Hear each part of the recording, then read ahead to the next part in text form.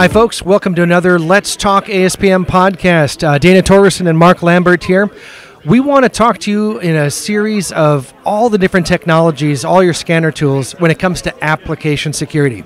AppSec, uh, shifting left, from the right to the left, left to the right let's in this episode let's talk about what happens when you're on the far left all the way over to the left mark. Tell our audience about these tools that are out there. Uh, i imagine there's a bunch of different letters uh, uh, representing all the different uh, acronyms of what sea sast and so forth yeah, yeah, and actually, another way of thinking about this is it's, it's from the code to the cloud, right? Because most applications these days are deployed in the cloud.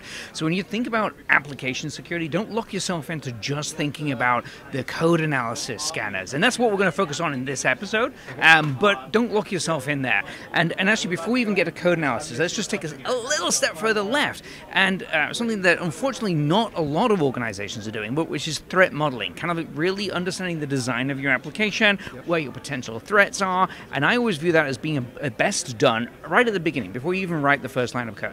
But if we kind of start thinking about the code analysis, that's where the first sets of alphabet soup come into play. So yeah. um, usually the furthest left is SAST, Static Application Security Testing.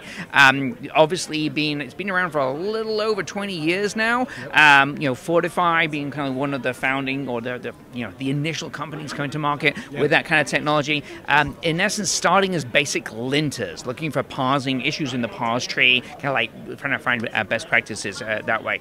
Now that has then evolved. So static application security testing now is much more than just basic linting. Commercial tools are looking at the code flow path, understanding contextual execution flows for the application. However, even with all of that additional symbolic code analysis, um, they still are have, have a higher noise making. So the signal signal to noise ratio is much higher um, than other techniques. The further right that you get, the further right you typically get in the pipeline, the more accurate or less noisy the tools are. We'll talk about that as we go. Um, so that context, though, if we can actually start to use the code flow analysis, we get more accurate static analysis findings but still usually the volume is very high. I wouldn't really call them false positives, although some people would classify them as false positives. It's just that they lack the contextual awareness. Now, the thing about SAST is SAST is focused on the code that you write, the code that's going into your application that you're writing. Now, of course, there is other code in your application, code that you didn't write. It's mm-hmm. open source code, right? right. This is where the other three, well, not the other three letter acronym, but another three letter acronym comes in. Software composition analysis.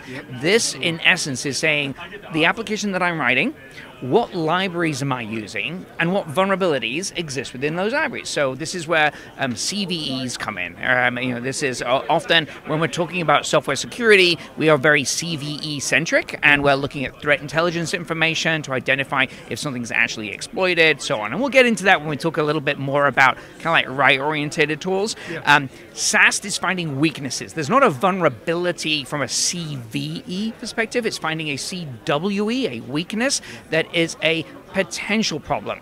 Now, when we look at software composition analysis, we're now finding a known problem. It's a library and it has a vulnerability.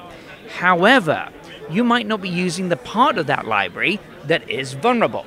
So this is where reachability analysis is really important. So this is now really, in my mind, a table stakes for uh, software composition analysis companies, um, where they're analyzing how your application is using the third-party dependency to identify if you're actually using the part of that library or that code base that is actually vulnerable. So this again reduces the noise through context. Now, Software composition analysis is a great bridge between the code and the cloud. And we'll talk about that in, in, a, in a subsequent podcast. I mean, another bridge there is infrastructure as code as well, as we're starting to build out the, our infrastructure with um, you know uh, Terraform scripts, for example. And we're, we're doing the same kind of thing. We're analyzing those to see, okay, what, what hidden vulnerabilities are in there or what misconfigurations. But really, that's kind of like moving a little further, right? That, that will be another acronym, uh, IAC. So the little a is infrastructure, capital I, little a as code, big C. So, but as I said, we'll talk about that I think more when we start talking about the cloud part of code to cloud.